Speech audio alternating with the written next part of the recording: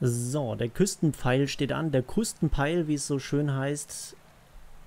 Und vielleicht holen wir uns endlich mal den ersten Sieg. Wir kommen hier aber nicht so richtig aus dem Quark, weil das Ganze so verdammt kurvig ist. Das könnte sehr, sehr kompliziert werden, da jetzt nochmal nach vorne zu fahren.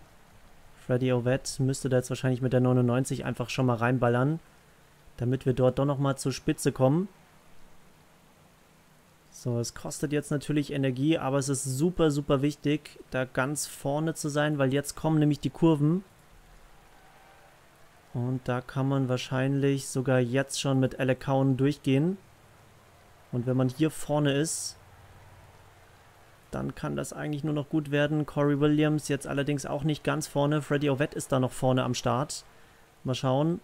Alec Cowan, Beschleunigungswert. Ja, Mist, da sind wir wieder nicht ganz vorne mit dran.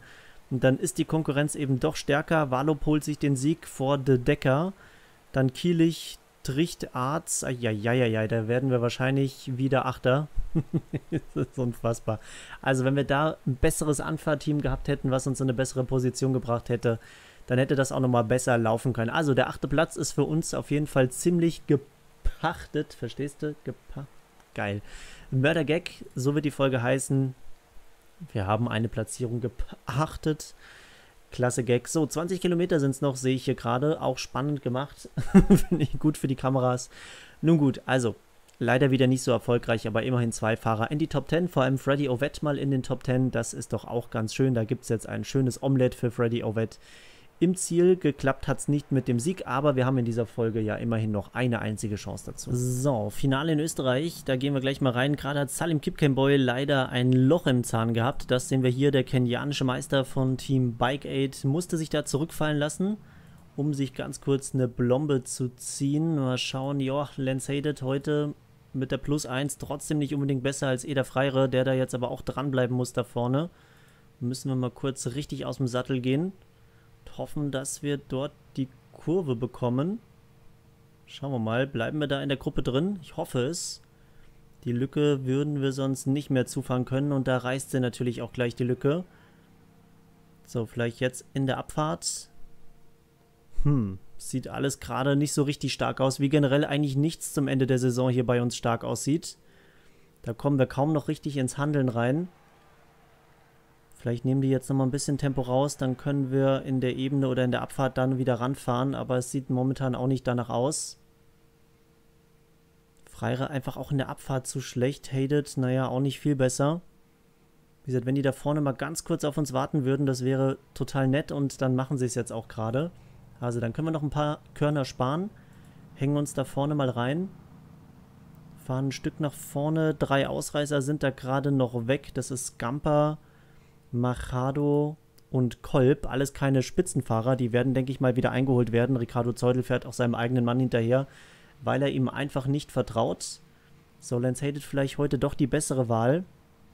Dann switchen wir mal um. Dann machen wir es doch so rum, dass wir für unseren amerikanischen Meister fahren und einfach hoffen, dass wir den nächsten Hügel halbwegs gut mit überstehen und dann das Energiegel auch schon, schon mal nehmen. Deutsche Sprache, ich kann irgendwie heute auch nicht so richtig gut sprechen. So, Eder Freire, wir versuchen nochmal schnell ein Wasser zu holen. Also die Top 20 sollten wir schon mal relativ im Sack haben, aber das ist nicht unser Ziel. Wollen natürlich möglichst gut da vorne mit reinkommen.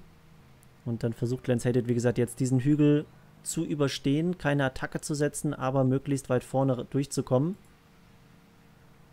Energiegel nehmen wir zumindest mal bei Eder Freire.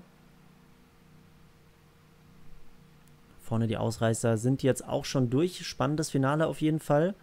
Da haben wir auch Maxeb Debesai.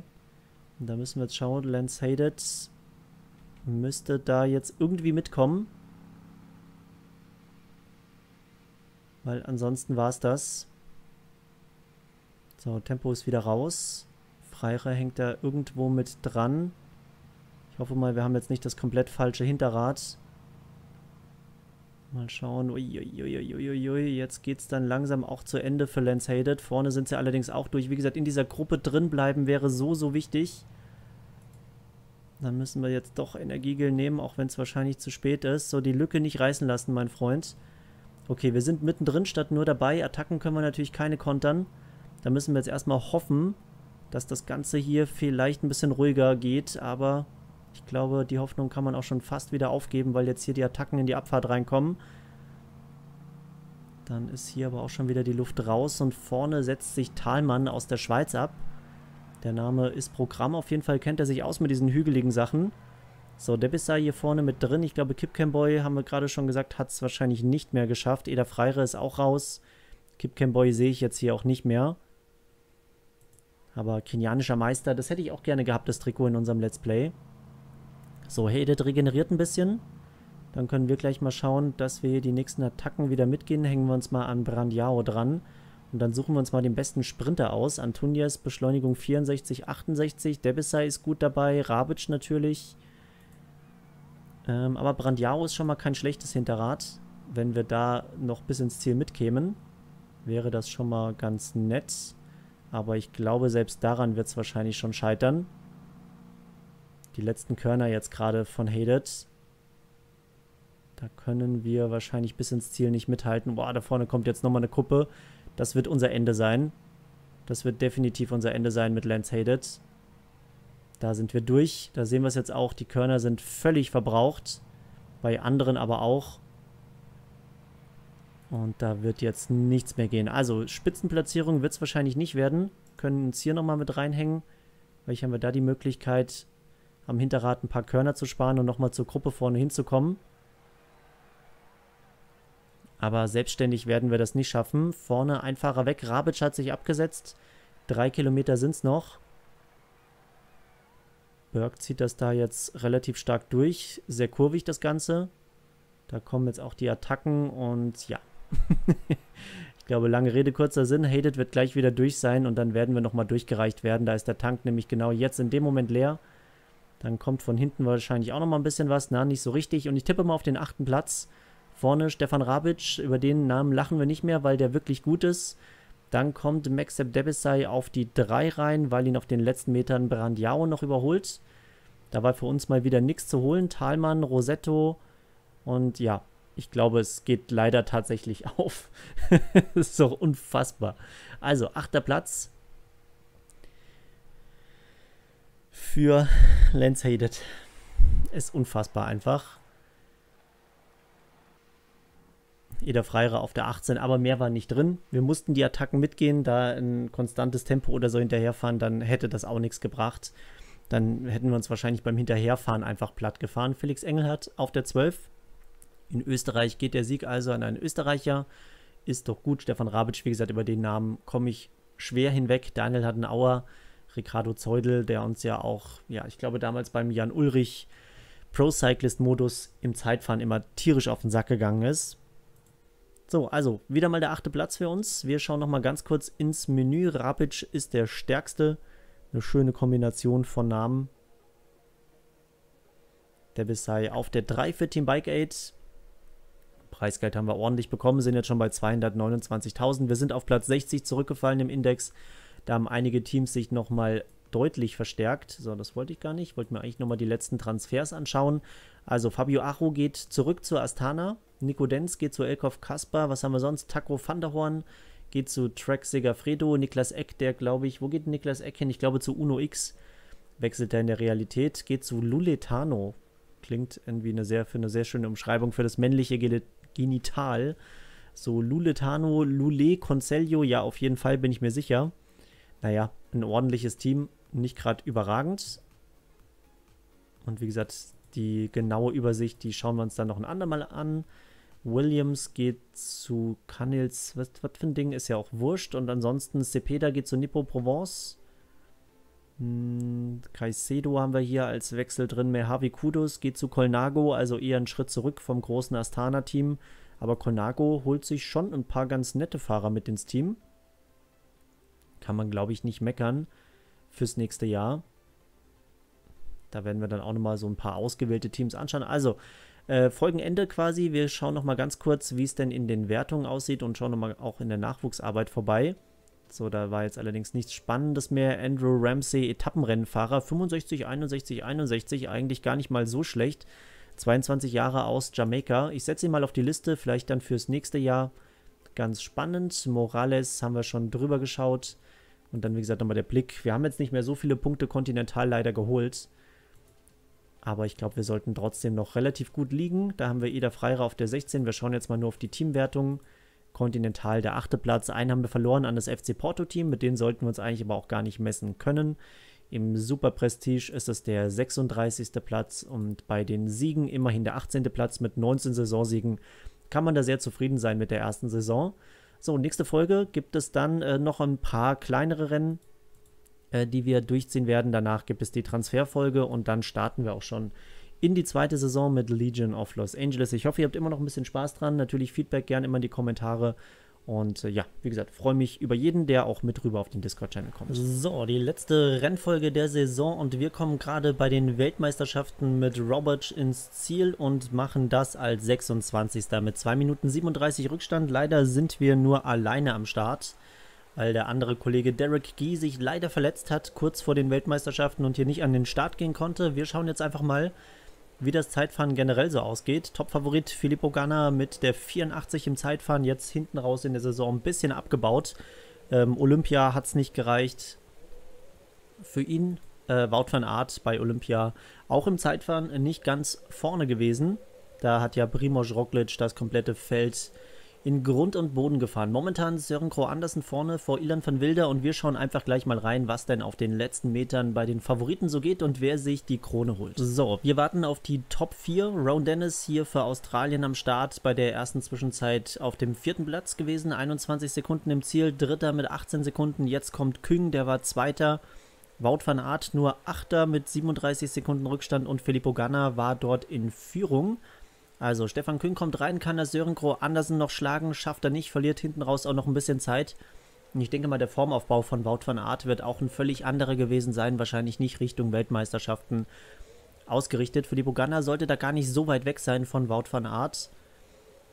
Denke mal, dass es nicht so stark wird vom Belgier. Es sind eine Minute 15 Rückstand. Da kommt Filippo Ganna schon ums Eck und wird auch Zeitfahr-Weltmeister.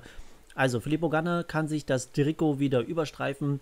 Ganz, ganz starke Leistung von Sören Kroh Andersen auf der 2 und auch der junge Belgier Ilan van Wilder. Ganz, ganz stark. Also Team DSM auf Platz 2 und 3, aber der Sieg geht an die Ineos Grenadiers bei den Weltmeisterschaften im Zeitfahren. Und äh, dann würde ich sagen, machen wir gleich den Sprung rüber, denn natürlich sind auch die Straßenweltmeisterschaften am Start. Wir trainieren das Team Kanada mit Alec Cowan, aber natürlich auch mit Michael Woods. So, los geht's mit den Weltmeisterschaften. Leider ohne Michael Woods, weil der sich das Handgelenk gebrochen hat. Aber Alec Cowan ist am Start mit einer guten Tagesform, mit einer Fitness, die okay ist. Und wir gehen gleich mal in die Ausreißergruppe und versuchen dort vorne unser Glück im kanadischen Trikot. Mal schauen, ob die Gruppe da vielleicht durchkommt. Ja, das sind Weltmeisterschaften. Es wird wahrscheinlich nicht passieren. Parcours ist natürlich auch brutal mit ein paar Kopfsteinpflaster. Passagen noch drin, sehr, sehr hügelig, gut gemacht für Alec Kaun, aber natürlich gegen eine Konkurrenz, die aus absoluten Weltklassefahrern besteht, wird das nichts werden. So, die Gruppe, mal schauen, ob wir die überhaupt schaffen. Da wird jetzt gerade Tempo rausgenommen. Dan Martin ist da kurz hinterher gefahren. Brent Bookwalter, den wir ja auch mal auf dem Zettel hatten, der auch ziemlich gut ist. Dillier Tullet, der glaube ich auch ja wechseln wird. Ben Tullet. So, wen haben wir denn hier dabei? Wir haben Wirtgen aus Luxemburg mit dabei und Dang aus Kasachstan. Aber nur Dang, nicht irgendwie Dong Dong oder sowas wie bei Olympia. Das wäre natürlich auch lustig gewesen. Ansonsten haben wir noch Perry mit am Start. Und wir hatten noch einen vierten mit dabei. Ich bin gerade ein bisschen aus der Puste, weil ich gerade noch mit Nero gespielt habe, bevor ich jetzt einfach gerade in die Aufnahmesession rein bin. Also wir hatten noch einen vierten eigentlich mit dabei. Ich weiß nicht mehr, wer das war, aber auf jeden Fall auch der ist verletzt. Es ist einfach, wahrscheinlich war es auch wieder Derek Gee. Also die Kanadier auf jeden Fall sehr verletzungsgebeutelt. Vorne die Gruppe kommt erstmal weg, deswegen nehmen wir mit Alec Cowan ein bisschen raus und sehen uns dann wieder, wenn es spannender wird. Wir schauen einfach mal so mitten rein, wie sich die Rennsituation auch so verändert. Also unfassbar. Ich weiß nicht, wie man in der Ausreißergruppe mit drei Fahrern stürzen kann, Cowan, aber er hat es geschafft und hängt jetzt natürlich irgendwo so zwischendrin.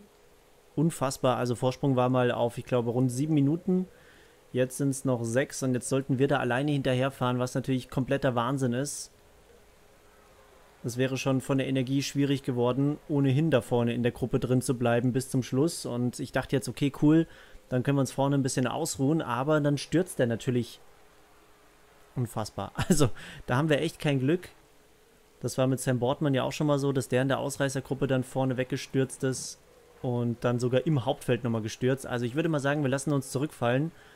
Äh, jetzt die anderthalb Minuten da aufzufahren, wäre wahrscheinlich unser Tod. Dann versuchen wir im Hauptfeld so gut wie möglich mitzukommen, ein paar Körner zu sparen und dann versuchen wir nochmal was mit Alacaun. Das kann natürlich nur funktionieren, wenn das Spiel irgendwo einen taktischen Fehler drin hat oder eben generell die anderen Teams vielleicht taktisch nicht ganz so auf der Höhe sind. 50 Kilometer sind es noch. Perry immer noch an der Seite von Alec Cowan.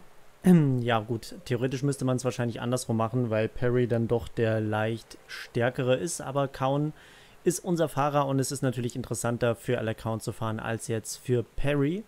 So, da haben wir die Belgier, die natürlich für Wout van Aert am Start sind. Da haben wir den Belgier mit der Rückennummer 1, wenn ich das richtig sehe, unter dem ganz verschmutzten Trikot der Topfavorit heute. Dann Florian Seneschal für Frankreich, Alaphilippe natürlich mit am Start, schon relativ weit hinten.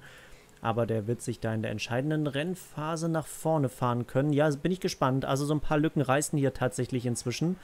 Umso wichtiger, dass wir die Position vorne halten. Da haben wir auch Nils Politz, natürlich auf den Kopfsteinpflaster-Passagen enorm gut. Was war das hier? Ah, okay, Mollard lässt sich zurückfallen, weil sein französischer Kapitän hinten Probleme bekommt. Also jetzt heißt es hier echt aufpassen und konzentriert fahren, damit wir hier vorne die Lücken nicht reißen lassen. Und ja, wir müssen dann ab und zu ein bisschen mehr Energie investieren. Aber eine Top-20-Platzierung hier mit Cowan bei den Weltmeisterschaften wäre natürlich ein feuchtes Träumchen. Die Ausreißergruppe vorne wird jetzt gestellt. Wir nehmen ein bisschen Tempo raus. Da ist tatsächlich eine Lücke gerissen. 23 Fahrer. Dahinter kommt hier Mohoric, der das Tempo macht und jetzt auch wirklich wieder rangeflogen kommt. Alter Schwede. Jetzt wäre natürlich ein guter Moment eigentlich gewesen, um mit Perry nochmal Wasser zu holen. Mal schauen, ob er das jetzt in der Gruppe mit 23 schafft oder ob er sich da noch weiter zurückfallen lassen muss. Er hebt da auf jeden Fall schon mal den Arm, muss dann aber doch noch weiter zurück. Also auch das äh, ist ja ein bisschen gefixt worden, dass, die, dass der Fahrer jetzt nicht mehr bis ganz zum Schluss fahren muss, sondern das theoretisch auch ein bisschen früher machen kann. Ich hoffe mal bei Perry, dass das jetzt klappt. Und da hat er auch volles Wasser und schon reißt vorne die Lücke. Auch nicht schlecht. Cowan aber hier vorne noch mit am Start, ohne dass er so viel Energie verballert hätte. Gute Leistung bislang von unserem kanadischen Team, unserem Zweier-Team, also kanadischer Zweier quasi. So, 24 Fahrer hier vorne am Start. Tempo wird jetzt natürlich immer höher. Perry hat da jetzt viel Energie investiert, um nochmal ein Wasser zu bringen. Klemmt sich vor Alacaun. Da machen wir wieder Klong. Schön gegen die Brücke gefahren. 33 Kilometer. Ich hätte nicht gedacht, dass wir überhaupt so weit kommen. In so eine gute Situation. Müssen allerdings ein bisschen die Position nach vorne verbessern. Ansonsten fliegen wir da nämlich gleich raus. So, die Ausreißer sind eingeholt. Da waren wir ja ursprünglich mal mit am Start. Shea war es da auch, aber dann hat es uns leider auf die Fresse gelegt. Trotzdem, Elekaun hat den Sturz ganz gut verkraftet. Und jetzt heißt es im Finale, ja, so gut und ruhig wie möglich hier durchzufahren. So, da ballern wir mal schnell ein bisschen drüber. Halten dann unsere Position wieder. 134 Fahrer, also das Feld ist jetzt anscheinend sehr, sehr lang gezogen. Das sieht man hier, da sind auch einige Lücken die aber momentan noch nicht gerissen sind. Da kommen jetzt Attacken von Van Gestel und Hulgard. Bleiben mal hier vorne in Position. 26 Kilometer ist natürlich noch ein ordentliches Stück und es wird jetzt nur noch attackiert werden in diesem kleinen Rundkurs im Finale. Mit kleinen Hügeln drin. Mal gespannt, wie weit wir da kommen. Da jetzt Attacken mitzugehen, ist erstmal tödlich für uns, weil das Grundtempo eigentlich schon zu hoch ist. Da hatten wir jetzt Van Gestel, der es ja, glaube ich, gerade versucht hat, Vorne kommen die nächsten Attacken. 23 Kilometer sind es noch. Da Matthews auch mit am Start. Da müssen wir jetzt echt aufpassen. Da werden wir gerade ein bisschen überrollt. Perry versucht da hinterher zu gehen. Wir hauen mal den Einsatzbalken rein. Eine Führungsarbeit würde uns momentan zu sehr killen. Weil dann würden wir Richtung Spitze fahren wollen und das kriegen wir, glaube ich, nicht hin. Aber das sieht erstmal ordentlich aus. Boah, jetzt geht da vorne aber die nächste Attacke. Da müssen wir mal ganz kurz den Einsatzbalken fahren. Wie gesagt, kostet unglaublich viel Energie, aber ist ab und zu notwendig. Zumindest in meinen Augen.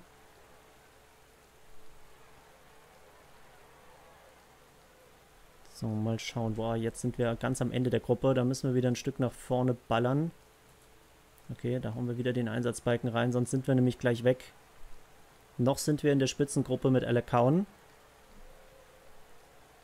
So, Perry kriegt jetzt dann auch gleich mal das Gel. Bleiben hier weiterhin platziert irgendwo im Pulk. Uiuiui, jetzt geht's los da vorne. Da müssen wir jetzt dranbleiben. So, Perry bekommt mal das Gel. Kauen wird jetzt auch bald Platz sein. 14 Kilometer sind es noch. Wir hängen uns hier mal mit in diese zweite Gruppe rein und hoffen, dass die uns wieder hinfahren. Was anderes können wir nicht machen. Der gelbe Balken wird dann nämlich auch gleich flöten gehen. Tempo enorm hoch, aber wir sind, wie gesagt, gut mit dabei. Beide Kanadier bislang in der Spitzengruppe. Jetzt heißt das halt die Füße stillhalten und so viel Energie wie möglich sparen. 11 Kilometer noch. Jetzt kommen allerdings noch ein paar Hügel, die könnten übel werden für uns. So, vorne gehen jetzt die nächsten Attacken und da ist jetzt wahrscheinlich die entscheidende Lücke gerissen. Direkt vor uns. Da lassen wir uns aber nochmal hinfahren. Wer ist das? Äh, Matteo Trentin, der da reinballert. Schauen wir mal, kommen wir da nochmal vorne hin. So, komm, Alec, hau nochmal rein. Da gehen wir nochmal mit. Versuchen unser Bestes. So, vorne sind auf jeden Fall Attacken gegangen. Da ist auch eine Lücke gerissen.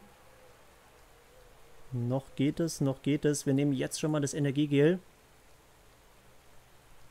Und da reißt jetzt die Lücke. Schade. Das wird dann doch schwierig. Kommen wir da nochmal hin. Perry tut alles, um uns da nochmal hinzubringen in diese Gruppe, die jetzt aber auch weiterhin durchballern. So, wen haben wir denn hier dabei? Mesketch, wie schaut die Rennsituation vorne aus? Denix Düber ist da jetzt ganz vorne. Nochmal schauen. Kommen wir hier nochmal ums Eck. Puh, die ballern hier jetzt weiter rein. Das wird ganz, ganz hart werden. Jetzt auch in den Sprint rein. Können uns mal an Mike Tönnissen dranhängen. Weiß nicht, wie viel Power der jetzt noch im Tank hat.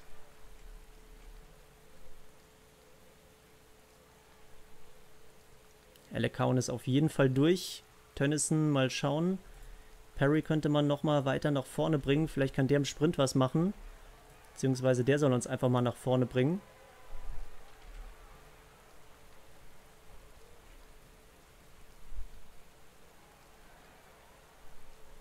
So, da wird nichts gehen leider.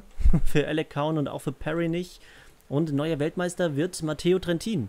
Vor Wout van Aert. Das ist ein bisschen überraschend. Matteo Trentin holt sich hier den Sieg, dann Polit als bester Deutscher auf der 11, Perry auf der 15 und Alec Count kommt aber in die Top 20 noch rein auf dem 18. Platz, immerhin nicht 8. sondern 18. Jawohl, eine 1 davor macht es immer besser, eigentlich nicht. Aber in dem Fall schon. War trotzdem ein spannendes Rennen. Ich glaube, wir haben so gut wie möglich mit der absoluten Elite mitgehalten, die natürlich bei den Weltmeisterschaften häufig nicht mehr so gut in Form ist. Aber mit einem überraschenden neuen Weltmeister Matteo Trentin, haben wir quasi den letzten Höhepunkt der Saison bestritten. Wout van Aert nur Zweiter, kennt er ja. Ist halt immer das Problem, wenn man so ein guter Allrounder ist und gleichzeitig so ein guter Sprinter. Sagt man ja auch immer wieder bei den Rennen, dass äh, wenn eine Gruppe ankommt, dann gewinnt Wout van Aert das Ganze. Deswegen muss er aber auch immer dafür sorgen, dass die Ausreißer vorne eingeholt werden. Hat man ja auch beim Olympischen Rennen gesehen, dass er da unglaublich viel arbeiten musste und im Endeffekt hat es dann doch nicht gereicht, um sich den Titel zu holen. Also spannende Weltmeisterschaften. Kann man nicht anders sagen, dass wir jetzt den Titel nicht geholt haben mit Cowan, ist, glaube ich, zu verkraften, war aber auch relativ klar. Trotzdem ein gutes Top 20 Resultat für den ja immer noch jungen Kanadier, der für uns eine sehr, sehr gute erste Saison fährt. Da würde ich ein bisschen Luft drauf machen. Das sieht für mich platt aus, das Ding, und die filmen immer noch in die falsche Richtung. Ja, ist einfach zum, zum Mäusemelken oder zum Nero-Melken. Hm. Der pennt schon wieder, weiß er, immer, immer noch mit mir gespielt völlig aufgedreht und äh, immer schön ins Beinchen beißen, also so spielerisch natürlich. Ähm, und jetzt schon wieder völlig weggepennt. Ja, jetzt einmal noch einmal noch tief durchgeatmet. So, also die Weltmeisterschaften sind rum. Im Zeitfahren haben wir auch uns das finale Ergebnis angeschaut. Es geht noch Richtung Sponsoring, das können wir dann später noch machen. Neue Wechsel gibt es auch. Äh, Pavel Bittner hat sich gedacht, ach komm, wenn ich auf dem Kopfsteinpflasterrennen verheizt werde von DSM, dann gehe ich doch zu KFC, Kentucky schreit ficken. Und jetzt darf ich, glaube ich, das Video nicht mehr ähm, wirklich verwenden. So, Girmay geht zu Electro Hyper Hyper. Archbold verlässt äh, The König Quickstep. Ansonsten irgendwelche großen Areruya, den hatten wir ja auch immer mal auf dem Zettel mit Team Bike Aid. Der verlässt das Team Bike Exchange und, nee, das Team Benediction, sorry, und wechselt auch zu Colnago. Also die rüsten schon richtig auf. Finde ich cool, hier diesen Überblick.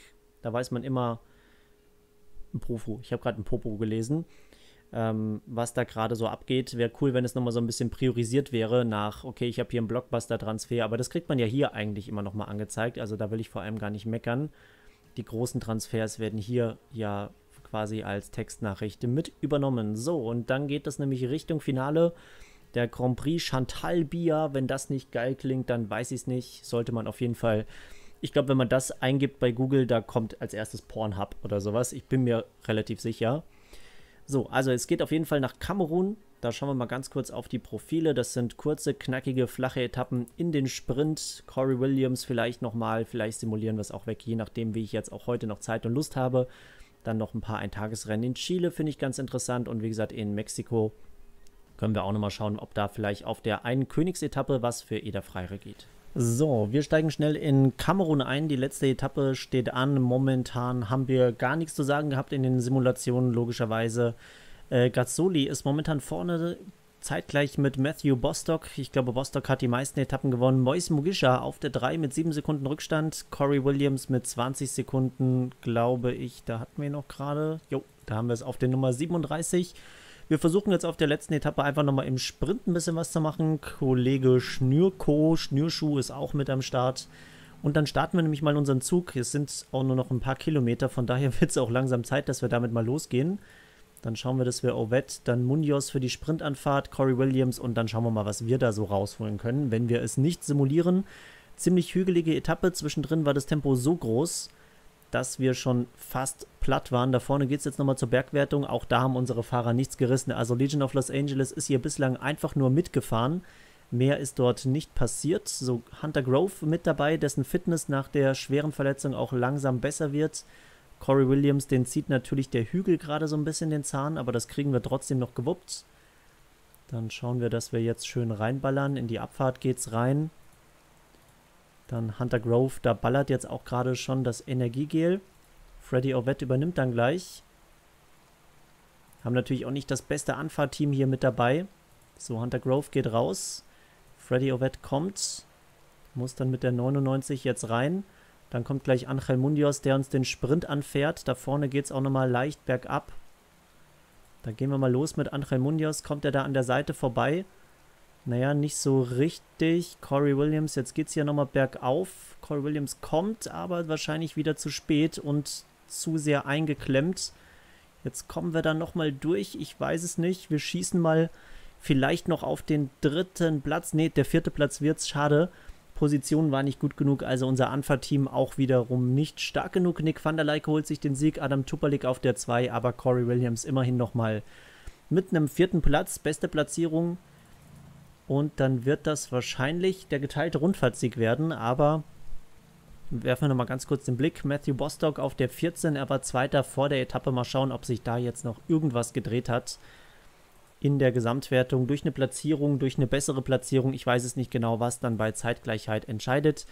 Michele Gazzoli holt sich den Sieg vor Matthew Bostock und Mois Mugisha und wir sind dann wenigstens mit einem vierten Platz nochmal halbwegs gut mit dabei gewesen. Kent Main holt die Bergwertung vor Nicodemus Holler. Ansonsten hat Team Bike Aid aber auch nicht viel gerissen bei der Rundfahrt. Salim Kipkenboy auf der 8.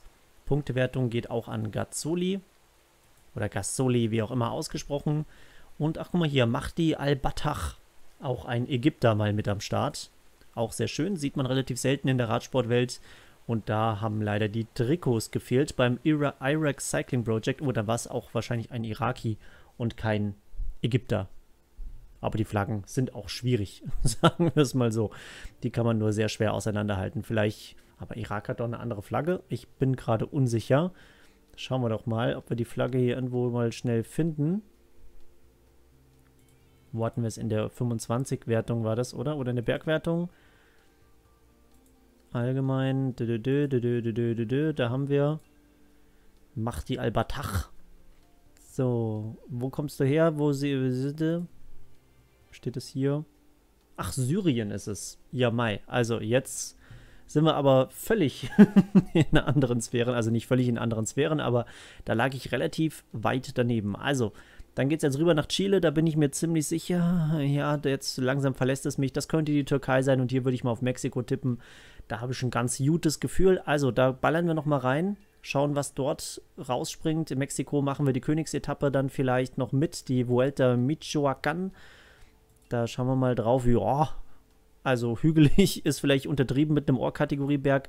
Da sind ein paar nette Sachen dabei, wo man mit Eder Freire vielleicht nochmal was machen kann, aber dann spielen wir wahrscheinlich wirklich nur die dritte Etappe und halten jetzt vielleicht nochmal in den ein oder anderen Sprint mit rein. So, wir gehen rein in die letzten 20 Kilometer. Die spannenden 20 Kilometer Elekaun war bis eben noch in der Ausreißergruppe, wird jetzt aber gerade eingeholt. Leider hat das nicht funktioniert und wir haben sehr, sehr gute Nachrichten. Lance Haydet hat sich nämlich am Hügel auf die 70 verbessert, unser amerikanischer Meister. Also das funktioniert doch ziemlich gut. Elekaun drückt da vorne jetzt nochmal für uns drauf dann ist das hier das vorletzte Mal, dass es diesen Hügel nach oben geht. Wir halten das Tempo mal hoch, damit die Gruppe auch möglichst klein wird. Leider ist Hated dann heute trotzdem nicht unser Kapitän, weil Ida Freire einfach eine Bombentagesform hat. Da haben wir auch den algerischen Meister Regigi. Ich liebe diesen Namen einfach. Ich kann es immer noch wieder sagen, dass das wahrscheinlich Kikeriki übersetzt heißt. So, Elekaun, ja gut, 85 ist vielleicht ein bisschen hoch. Jetzt geht es hier nochmal bergab. Eigentlich ein Paradies für die Ausreißer, muss man sagen, mit so vielen Kurven. Hier sehen wir das Finale, es geht bergab und dann haben wir da vorne den letzten Kilometer. Also wenn man es alleine durchziehen will, muss man schon keine Gnade zeigen. Ich schaue gerade wieder Cobra Kai parallel, deswegen Strike First und so weiter. Das machen wir nämlich heute auch, natürlich mit den schöneren Lehren aus Cobra Kai. Die gute Mischung, die man da mitnimmt. 11 Kilometer, Alec Cowan hat die Führung übernommen. Vorne ist das Rally Cycling. Ocampo ist da vorne. Ne, orangenes Trikot sieht aber immer so nach Rally Cycling aus. Das ist das Team Colnago, wo wir ja auch schon gesehen haben, dass die einige Colnagos mit Köpfen gemacht haben. geil. Ähm, so, Elekaun mit der 80 kann er nach wie vor vorne bleiben. Lance Hadet wird uns dann ja wahrscheinlich gleich unten in den Berg reinbringen und an dieser schwarzen Rampe. Da werden wir es dann versuchen. Wir erhöhen nochmal mit Account, damit er dort auch im richtigen Moment platt geht. Dann setzen wir unten die Attacke rein und übernehmen das Ganze dann mit Eda Freire. So, Lance Hated übernimmt. Kaun hat Feierabend. 26 Fahrer sind hier überhaupt noch drin. So, hier geht es jetzt einmal so eine kleine Rampe nach oben. Können wir aber auch schon mal schneller fahren. Energiegel wird genommen. Und dann hauen wir hier jetzt schon mal rein mit Lance Hated. Sind wir da jetzt schon über diese super steile Rampe drüber? Tatsache, das war schon die steile Rampe. Das war vielleicht nicht ganz so gut. Da habe ich den Berg irgendwie falsch interpretiert. Gut, dann geht es in den Sprint. Auch kein, kein Problem. Kriegen wir auch hin. Schauen wir mal, dass Lance Hated dann jetzt gleich mal losgeht. Mit Eder Freire am Hinterrad. Der dann jetzt mal kommt. Vorsprung ist relativ groß. Eine Kurve kommt natürlich auch noch. Allerdings haben wir hier Felix Groß, der von der Beschleunigung her das auf den letzten Metern vielleicht jetzt noch schafft. Nee, schafft er nicht. Und dann wird es der Doppelsieg endlich mal wieder. Lance Hadet holt sich den Sieg. So viel dazu. Also Lance Hadet gewinnt vor Eder Freire einfach mal mit dem 2 Kilometer Schlusssprint des Todes. Felix Groß auf der 3, Holler auf der 4, also Bike Aid auch hier wieder gut mit dabei und einige gute Konkurrenz haben wir hier geschlagen. Ella Kaun kommt noch auf der 16 rein. Und ja, damit können wir doch gut leben. Der Sieg in Chile, also auch quasi ja in einem der Bereiche, wo wir noch stärker werden wollen. Wir holen uns wahrscheinlich auch noch den ein oder anderen äh, chilenischen Nachwuchsfahrer oder generell Radfahrer aus Chile, aus Südamerika und werden dort versuchen natürlich dann die Fahrer zu entwickeln und vor allem auch zu richtig guten Rundfahrern zu machen, damit wir bei den großen Rundfahrten auch am Start sind. Richtig schönes Panorama, da gewinnt man doch gerne und der Doppelsieg für Legion of Los Angeles ist natürlich besonders schön. L3 9 Neon. So, hügeliges Finale ausgenutzt, so ein bisschen die Tücken des Finals ausgenutzt und leider muss man allerdings noch sagen, in Kamerun Ty Magna gestürzt mit einem Hüftbruch jetzt erstmal raus. Also da gibt es auch schönere Nachrichten. So, da hatten wir Wout van Art gerade. Das war aber keine Transfer-News. So, haben wir sonst noch irgendwas Spannendes hier mit dabei? Nicht so richtig. Richtig große Fahrer sind nicht am Start. Die sind jetzt, denke ich mal, schon gewechselt. Und jetzt kommen hier noch so ein paar kleine Nachrichten rein. Heinschke geht von Team Development, äh, Team DSM Development, so rum ist es richtig. Development Team von DSM. Leon Heinschke, 21 Jahre, Wechsel zu Radnet Rose. Also auch eine schöne Geschichte. Mal schauen, ob er da erfolgreicher ist als bei DSM. Und wie gesagt, dann machen wir weiter. Türkei, ja, zwei Sprints. Mal schauen, die würde ich wahrscheinlich eher wegsimulieren. Dann schauen wir uns vielleicht noch das Finale in Mexiko an und mal schauen, was da drin ist. Und dann geht es in der nächsten Folge ja quasi in den Abschluss. Da machen wir die Transfers und wir öffnen unser eigenes Development-Team. So, wir haben mal alles wegsimuliert und jetzt sind wir in Mexiko am Start und machen das Rennen mal schnell, unabhängig davon, ob wir da vorne jetzt tatsächlich durchkommen müssen die hinten jetzt richtig reintreten. Also Eder Freire attackiert direkt vom Start weg am Ohrkategorie Berg. Hinten, wie gesagt, wird das Tempo hoch werden. Momentan ist Lukas Carstensen im gelben Trikot. Den sehen wir hier. Hügelwert 62. Ja, Sprint. Äh, ja, das ist er nicht. Hügelwert 66. Beschleunigung, Sprint auch so lala. Also Eder Freire versucht das mal. Die Hoffnung, dass hier hinten dadurch Lücken reißen und einige der Sprinter, die momentan in der Gesamtwertung gut liegen, nicht ins Finale mitkommen. Das ist natürlich die große Hoffnung. Miguel Heidemann ist auf der 3, Pavel Berners auf der 2 alles keine besonders guten Bergfahrer, aber es kommt sonst nicht mehr wirklich viel, wo wir die anderen Klassementsfahrer auch dezimieren könnten. Jetzt sind wir hier vorne mit Cesar Veloso, auch kein schlechter Bergfahrer, also eine echt gute Gruppe, mit der wir hier am Start sind. Dann können wir uns das Ganze ein bisschen aufteilen und gehen in den Ohrkategorie Berg rein. Ist schwierig, wie gesagt, auf den ersten Etappen bin ich selber nicht gefahren. Corey Williams war im Sprint wieder keine besonders gute Option anscheinend in der Simulation und dann versuchen wir unser Glück jetzt mal aus der Ausreißergruppe. Maxim Devisay arbeitet hinten für Team Bikegate, aber er muss natürlich aufpassen, dass er Lukas Carstensen im Endeffekt nicht rausfährt. Also, spannende Rennsituation. Böckli ist noch mit dabei und dann schauen wir mal, was drin ist für unseren Mexikaner, den ehemaligen mexikanischen Meister. Ein Ziel haben wir auf jeden Fall schon mal erreicht, äh, auch wenn Eder Freire jetzt vielleicht gleich wieder eingeholt wird. Ausreißergruppe wird gestellt, 72 Fahrer angeblich hier hinten noch drin. Unser Team ist auch schon komplett zerfleddert. Aber das gelbe Trikot ist raus, das ist schon mal klar. Also Lukas Carstensen haben wir quasi kaputt gefahren. Ich weiß nicht, wo der kommt. Hier ist er. Dann haben wir auch Enzo Wouters, den vierten der Gesamtwertung. Alec Kaun ist hier mit in der Gruppe. Können wir mal auf automatisch. Ne, besser nicht, sonst fährt er die nämlich wieder zurück. Das soll nicht sein. Tyler Williams ist relativ früh rausgefallen und jetzt haben wir Eder Freire nach wie vor hier vorne der sich den Ohrkategorie-Berg vielleicht holt. Richtung Bergwertung wäre das nicht verkehrt. Wie schaut es da aus? Naja, gut, 45 Punkte. Könnte dann doch ein bisschen viel sein. Hier wird weiterhin hinterher gefahren. Da kommt jetzt Staune Mittet zusammen mit Lance Hadet nach vorne. 29 Fahrer nur noch. Also die Gruppe ist schön klein geworden. Wir können uns dann wahrscheinlich gleich mit Eder Freire auch wieder dort reinfallen lassen beziehungsweise wenn es dann in die Abfahrten geht, ja, so richtige Abfahrten gibt es hier aber erstmal nicht, können wir dann vielleicht dort auch besser regenerieren. Es sind immer noch drei Kilometer bis oben hin. Alec Kaun hat es wieder auf die Fresse gelegt. Wahrscheinlich jetzt Lukas Carstensen einfach mal zur Seite weggetreten. Moderner Fünfkampf auch hier. Da wird einfach die, na, die Reitpeitsche ausgepackt und dann gibt es auf die Fresse. So, dann kann er jetzt wenigstens auf automatisch fahren. 56 Sekunden der Vorsprung. Hier hinten sind alle durch. Vorsprung steigt wieder und dann können wir mit einem geringen Tempo uns die Bergwertung holen und mal schauen, was mit Eda Freire da insgesamt so geht. Lance Hated haben wir hier auch noch mit dabei, der sich, wie gesagt, auf die 70 verbessert hat. Heute mit einer guten Tagesform. Auch im Klettern nicht schlecht ist. Und jetzt kommen ja eigentlich nur noch Hügel. Von daher sind wir doppelt gut aufgestellt. Wir schauen uns noch schnell an, wie wir über den Kulminationspunkt fahren und uns die Bergpunkte sichern. Eine Minute der Vorsprung und dann sehen wir uns gleich wieder im spannenden Rennfinale. So, neue Rennsituation. Eder Freire ist eingeholt. Lance Hated hat jetzt nochmal versucht zu attackieren, um in die Ausreißergruppe zu kommen. Hinten ist nämlich keiner mehr gefahren. Deswegen dachte ich mir, gut, dann, bevor wir da jetzt die ganze Zeit Tempoarbeit machen, vorne ist Marke, hat mal eine dufte Marke gesetzt und attackiert. Hated, wie gesagt, hinterher. Eder Freire kann sich jetzt ein klein wenig entspannen. Hinten allerdings die Rennsituation so, dass natürlich die Gruppen nach und nach wieder zurückkommen. Das hohe Tempo, was wir dort forciert haben, ist natürlich nur gut, wenn das auch hoch bleibt. Und wir haben jetzt nicht das Team dazu, um hier weiter Tempo zu machen. Das hatte ich eigentlich mit Lance Hated vor. Hat, wie gesagt, nicht funktioniert. Deswegen versuchen wir jetzt da vorne hinzukommen. Marke ist ein ordentlicher Fahrer, nicht überragend unterwegs, aber vielleicht kommen wir am Hügel jetzt ran und können dann in der Abfahrt noch ein bisschen regenerieren.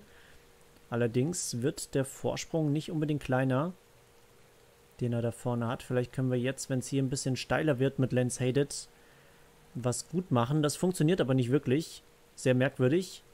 Ich weiß nicht, ob der da vorne gerade völlig überpowert oder was da los ist, aber Wir verlieren sogar Zeit am Hügel. Spannend. Wie gesagt, da hätte ich jetzt eher gedacht, dass wir relativ dicht sogar rankommen. In der Abfahrt die 66. Also Lance Haydett hat sich zu einem richtig guten Fahrer entwickelt. Der Abfahrt können wir jetzt noch mal ein bisschen höher gehen. 1,42 jetzt der Rückstand. Wahnsinn. Da vorne haben wir ihn gerade noch gesehen. Bergwertung, Eder Freire, da ist wieder Francisco Lara, der uns ja den mexikanischen Meistertitel genommen hat. Salim Kipkenboy da auch wieder vorne mit dabei. Also auch der fährt eine gute Saison oder zumindest eine gute Schlussphase. So, 1,37 der Vorsprung, 50 Kilometer sind es noch. Jetzt wird es wahrscheinlich nach hinten auch langsam wieder komplizierter werden. Da bleiben wir jetzt einfach mal drauf. Ist ganz interessant, das zu verfolgen. Ist ein bisschen wie Zeitfahren. Gelbes Trikot ist zumindest nicht zurück und hat immer noch ein bisschen Rückstand. Und da werden wahrscheinlich auch das grüne Trikot, das sogar noch weiter zurück ist, eine Gruppe. Also Gesamtwertung wird auf jeden Fall völlig neu durchgespielt werden. Jetzt ist das natürlich hier so 1 gegen 1. Aber keine Ahnung, was Mark hier da vorne macht. Was der für eine Tagesform hat. Aber von den Werten her ist er eigentlich schlechter. Und ich meine, Hated hat ja auch die plus 3. finde ich merkwürdig, dass wir da keine Zeit gut machen können und dass das Hauptfeld jetzt nur auf uns Zeit gut macht. Also Hated, glaube ich, haben wir da ein bisschen verfeuert mit der Attacke. Das Hauptfeld macht jetzt auch so viel Druck, dass diese eine Minute, die wir da noch haben, nicht passt. Alter Schwede, was ist denn mit dem los? Okay, jetzt ist er durch. Da war er gerade kurz platt. Weiß nicht, ob der einfach auch ein bisschen überpowert hat. Aber wir überpowern auch gerade. Von daher wird das schwierig. Ich glaube, wir lassen uns mal ins Hauptfeld zurückfallen. Sparen da ein bisschen Energie und dann machen wir die Jagd auf den Etappensieg wenigstens. 63 Fahrer sind hier mit drin. Dann schauen wir, dass Eder Freire mal hier an die Seite geht.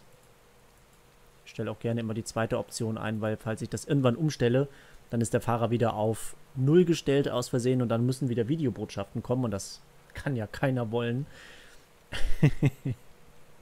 Ja, Salim Kipkerboy auf jeden Fall hier vom Teamchef noch nicht auf Null gesetzt. Der müsste doch hier auch irgendwo noch in der Gruppe sein. Wo haben wir das kenianische Meistertrikot? Habe ich es jetzt irgendwo übersehen? Wahrscheinlich. Wahrscheinlich weiter vorne mit dabei. Da ist er. Mit der Nummer 27. Gute Werte. 68 Berghügel, 69. Beschleunigung auch ordentlich. Guter Ausreißer. Quasi die Werte, wie er sie auch letztes Mal hatte. So ein Wasser für Lance Hated wäre wahrscheinlich nochmal ganz ordentlich der sich da jetzt gerade nicht zurückfallen lassen kann. Okay, jetzt ist vorne Marke durch. 57 Sekunden. Ja, okay. Aber Hated, das wird irgendwie nicht so richtig viel. Achso, weil das die zweite Option war. Naja, ist ja wurscht. Mal schauen, was mit Eda Freire geht. Lance Hated, Sprintbeschleunigung 64, 67, 64, 65. Also könnte man theoretisch auch nochmal ändern, aber da jetzt nochmal ans Ende des 63-köpfigen Hauptfeldes zu fahren, macht dann auch keinen Sinn. Wir stellen es mal schneller und gehen auf die letzten Kilometer. Dann fahren wir für unseren Mexikaner beim Heimspiel. Ich glaube, wenn jetzt der Amerikaner hier gewinnen würde, dann wäre es auch, ja, kein gutes Zeichen. Keine Ahnung. wir wollen natürlich dem Mexikaner die Kapitänsrolle zuschustern. So rum ist es richtig. So, dann fahren wir mal an die Spitze, hängen mal Eder Freire dran.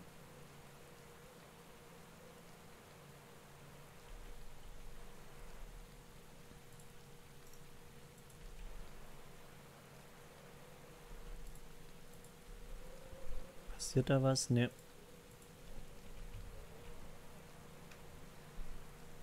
Kommen wir da irgendwie weg? Wahrscheinlich eher nicht. Wen haben wir hier? Stefan Rabitsch an unserem Hinterrad. 6,9 Kilometer. Okay, das hat jetzt nicht so richtig gut funktioniert, habe ich das Gefühl. Aber wir haben immerhin eine kleine Lücke gerissen. Fährt Stefan Rabitsch da vorbei. Wenn wir ein bisschen vom Tempo runtergehen, na, dann ist auch alles schon wieder passé. So, wo ist Lance Hated? Energiegel natürlich noch schnell nehmen. Ob der da jetzt nochmal nach vorne kommt. Ansonsten gönnen wir dem Sieg den anderen. So ist es nicht. Der sieht allerdings schon ziemlich durch aus, wo wir uns da gerade das Hinterrad geschnappt haben. Das ist Hansen. Da kommt Hated nach vorne gesprintet. Dann hängen wir uns nämlich da dran. Schau mal, was da vielleicht noch geht. Nach ganz vorne. Boah, jetzt geht's hier aber auch noch mal... Eieiei, da war ich aber viel zu früh draußen. Hated ist jetzt allerdings gleich platt. Freire wird, wird so früh platt sein.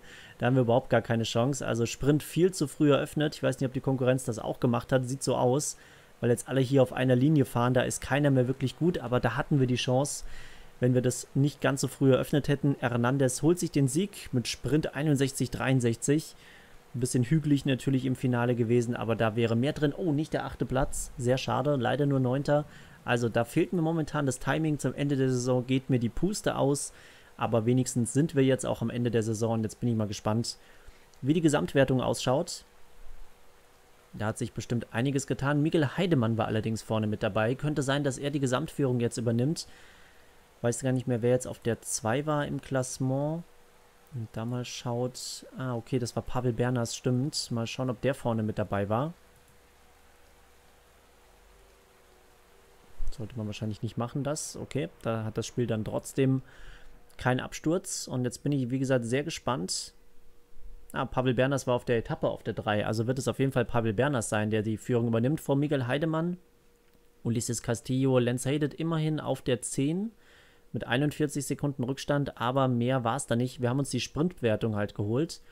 Bergwertung immerhin noch der dritte Platz für Eder Freire. Das könnte man ja als Ziel ausgeben, aber ich werde jetzt die letzten Etappen wegsimulieren.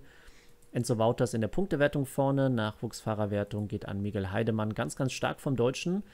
Und in der Teamwertung sind wir nicht in den Top 10, da können wir mit leben. Weiter, weiter, immer weiter und dann sind wir nämlich an dem Saisonende angekommen. Eder Freire auf der 9 in der Gesamtwertung, 10. Platz Valenz Hated, Eder Freire nur auf der 23. Da haben wir leider dann keine entscheidende Lücke mehr reißen können, aber damit müssen wir und können wir, glaube ich, ganz gut leben. So, die letzten Etappen sind flach. Etappe 5 und 6, da kann Corey Williams nochmal reinballern, wie er will. Er wird wahrscheinlich in der Simulation sich nichts holen und dann machen wir in der nächsten Folge nämlich den Transferüberblick. Wir machen das Development Team und schauen einfach generell nochmal auf die Saison zurück und würde ich sagen, ich bedanke mich fürs Schauen, für die erste Saison, wie gesagt, wo wir gleich nochmal schauen. Oh, Aaron Grosser. Stand da gerade Aaron Grosser? Ich dachte, er hat die Karriere beendet. Hello? Aaron Grosser wechselt von äh, arbeitslos zum HKSI-Team. Also Karriere wieder reaktiviert, Sprint 72, Beschleunigung 72. Nicht schlecht. Also, Aaron Grosser ist back und wir freuen uns darüber. Maxep Devisay wechselt von Bike 8 weg. Das werden wir auch dann in der nächsten Folge noch schauen, was sich da getan hat. Henry Ulik ähm, wechselt von Radnet Rose zu Zalf Euromobil. Auch interessant. Was ist das für ein Team? Ein italienisches Team, das aber ein paar gute Fahrer hat, kannte ich jetzt nicht. Hat aber irgendwie ein ganz nices Trikot, so wie das amerikanische Meistertrikot, nur halt in grün. Hm. Daher kommt der Spruch also. So, ich sage Dankeschön fürs Schauen. Wir sehen uns in der nächsten Folge wieder. Ich glaube, die Folgen kamen jetzt nur alle zwei Tage, weil ich einfach nicht mehr geschafft habe. Außer ich schaffe unter der Woche nochmal was. Aber ich glaube, das ist ein bisschen utopisch mit dem ganzen Stress, der momentan vor der Tür steht. Also Dankeschön fürs Schauen. Bis zum nächsten Mal bei Team Legion. Und dann gibt es, wie gesagt, die Transfers, Development Team. Und dann geht es endlich in die zweite Saison mit Goldwein, Kanister und Co.